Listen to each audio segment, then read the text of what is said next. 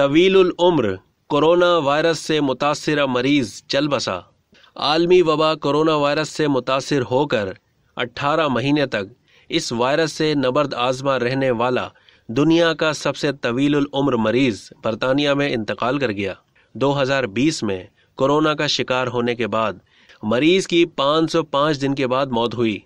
कहा जा रहा है कि मरीज़ कोरोना के 10 वेरिएंट्स का शिकार हुआ था। जिनमें अल्फ़ा, गामा और ओमिक्रॉन शामिल हैं। बरतानवी साइंसदानों का कहना है कि मरीज़ का मुदाफ़ती निज़ाम बहुत कमज़ोर था और कोरोना से मुतासर होने के बाद 18 महीने तक वबाई बीमारी से लड़ता रहा। तिब्बी माहरीन और अस्पताल ने मरीज़ की हालत, उम्र और वैक्सीन लगाने से मुतल कोई मालूम जारी नहीं की।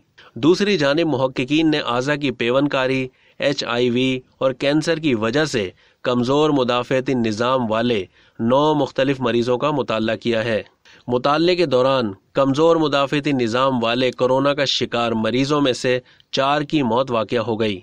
दो को इन्फेक्शन से बचने के लिए एंटीबॉडी थेरेपी और एंटीवायरल की ज़रूरत पेश आई। जबकि दो बिलाखिर इलाज के बगैर ही सेहतियाब हो गए।